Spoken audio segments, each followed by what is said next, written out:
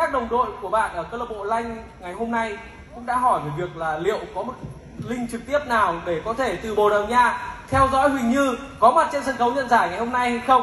Và có lẽ là các đồng đội của Huỳnh Như lúc này cũng đang theo dõi buổi lễ trao giải của bóng vàng Việt Nam. Huỳnh Như ngày hôm nay chọn cho mình một bộ trang phục màu xanh có lẽ là vì bạn đang chơi cho câu lạc bộ Lanh. Huỳnh Như cảm xúc lần thứ năm như thế nào? Dạ, à, lời đầu tiên thì cho Nhi xin gửi lời chào đến uh, quý vị lãnh đạo, quý vị khán giả đang có mặt ở à, buổi gala trao giải ngày hôm nay và cũng như là quý vị khán giả đang xem qua chương trình qua màn nhỏ. Lời chào trân trọng thân thương và cute nhất. Dạ, thật thì trước khi mà buổi lễ diễn ra thì à, các đồng đội tại Lanh đó là nhắn tin liên tục cho Như để hỏi về cái đường link để mà có thể xem trực tiếp như à, nhận giải ngày hôm nay và mọi người đều gửi cái bàn tay như thế này để mà cầu nguyện cho Như thật sự là Như cảm thấy rất là trân trọng và biết ơn. Và bên cạnh đó thì Như cũng muốn gửi lời cảm ơn đến uh,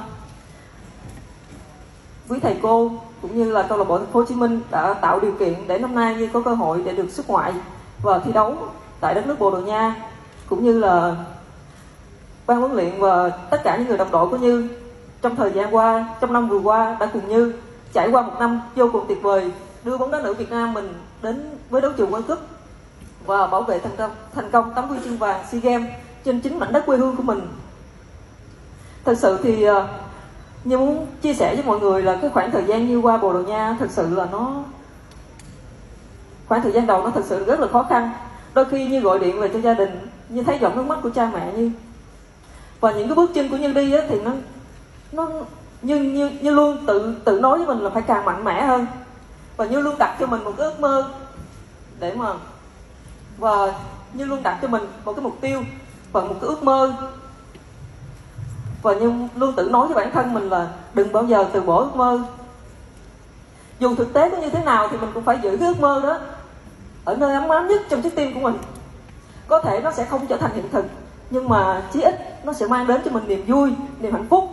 Và chắc chắn một điều là nó sẽ giúp cho mình trở thành một phiên bản hoàn hảo hơn của chính mình chắc chắn là như vậy thì chúc mừng Huỳnh Như nó sẽ là những giọt nước mắt hạnh phúc ngày hôm nay. Và như cũng muốn gửi lời cảm ơn đến báo Sài Gòn Giải Phóng.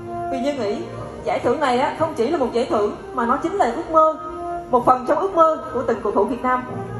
Và để thể hiện cái tình cảm của Như á thì Như cũng muốn gửi một chiếc áo dành tặng cho báo Sài Gòn Giải Phóng trong chương trình ngày hôm nay. Một chiếc áo của Huỳnh Như có chữ ký của các đồng đội của câu lạc bộ Lanh thì Huỳnh Như Huỳnh Như có thể chia sẻ sự đặc biệt của chiếc áo này. Chúng tôi đã thấy bạn khoác chiếc áo màu xanh này trong suốt những tháng vừa qua. Chúng tôi cũng đã thấy bạn ăn mừng với chiếc áo này, cả với những điệu nhảy Việt Nam nữa. Nó thực sự là hot trend trên mạng. Bạn có thể chia sẻ thêm sự đặc biệt của chiếc áo. Dạ thì ờ, đây là chiếc áo mà Như đã ghi hai bàn thắng và nhận MVP trong vòng đấu thứ sáu với câu lạc bộ Famalicão và Như muốn gửi chiếc áo này đến báo Sài Gòn Giải Phóng để cùng Như quyên góp cho quỹ bảo trợ trẻ em Việt Nam. Vì Như nghĩ đối với trẻ em á, thì các bé không cần phải những món quà thật là cao to thật là lớn lao. Đôi khi nó chỉ là một quả bóng. Đôi khi nó chỉ là một đôi giày. Hoặc đôi khi chỉ là một que kem.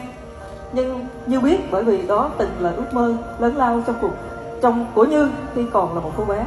Và Như muốn cùng với tất cả mọi người góp một chút ít phần nào đó để nuôi dưỡng ước mơ của những trẻ em Việt Nam.